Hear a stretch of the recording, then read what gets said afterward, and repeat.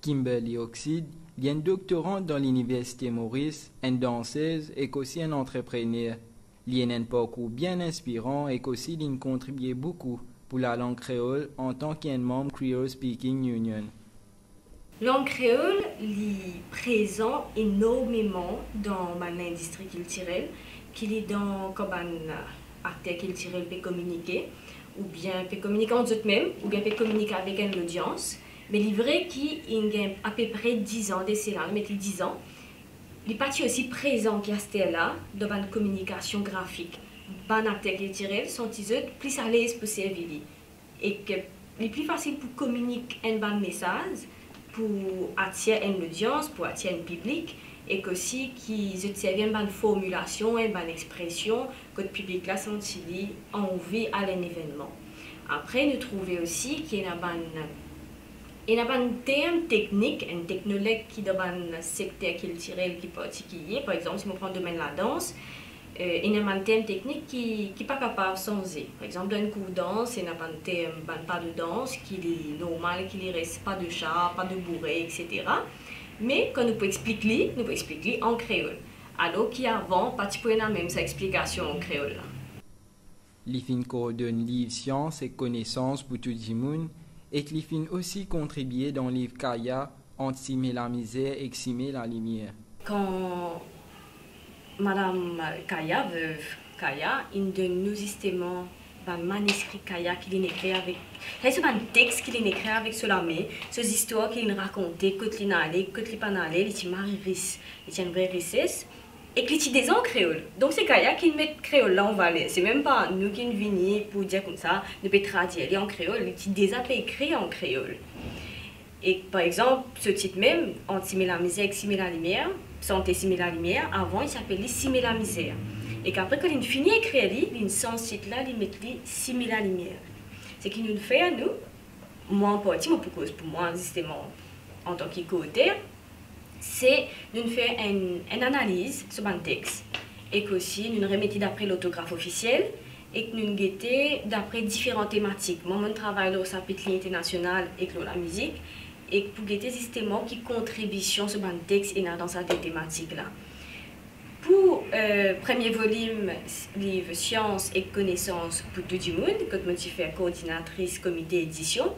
Donc là, c'était un concours qui CSU, qui peut Speaking Union qui fait, donc les critiques scientifiques, que tu as trois gagnants. Et trois gagnants là, tu faire trois textes scientifiques, donc en sciences dire, comment physique, euh, c'est la madame qui écrit physique, la euh, chimie et la biologie, l'astronomie. Et c'était une médecin créole. Et que là, nous, ce qu'ils nous faire, pour trois gagnants là, nous faisons une correction totale, donc euh, pour mettre dans l'autographe officiel, nous classe nous faisons un comité d'édition, nous mettons un comité d'édition qui peut travailler la correction, la mise en page et le glossaire. Petit glossaire dans ce livre-là est bien important parce que tu as tout un thème technique dans science, tu as cette définition, tu as un thème qui est capable de créoliser et que un thème qui n'est pas capable de créoliser parce qu'il ne finit habitué en anglais. Un projet lequel il peut travailler en ce moment, c'est célébration bicentenaire premier texte littéraire en créole mauricien, les essais d'un bob africain. L'IP monte un spectacle vivant autour sa texte François Chrétien là. Et ça, l'année-là, nous pouvons mettre en place une célébration, ce qu'on appelle un spectacle vivant, que tu peux dans la danse, que tu peux dans la musique, que tu peux dans la santé, que tu peux dans l'acting, mise en scène. Ce texte, donc une sélection de texte François Chrétien, en créole d'antan, donc 1822, que pouvons aussi justement un aménagement, euh, nous pouvons aussi un créole euh, moderne, côté dans cette traduction dans l'édition 2018 là. Et nous pouvons trouver justement comment, ça à l'époque-là, mais du monde, tu peux, tu peux écrire en créole. Et que nous remettons tout, toute la société, mauricienne, population mauricienne, trouve sa richesse qui est là, qui en 1820 détient un qui écrit en créole et qui met dans un sens langue qu'il tire et artistique. Pour Kimberley Oxide, la langue créole a une grande importance dans nos sociétés. Euh, c'est un changement de mentalité ben, mauricien, oui, parce que quand mauricien trouve une faute à là, je dis, mais c'est mal écrit. Hein. Alors qu'avant, pour ça, comme un professeur Corporan dit, c'est une conscience orthographique que les Mauriciens développée parce qu'ils quand ils ont fait mal écrire, ils ont envie qu'ils aient bien écrire.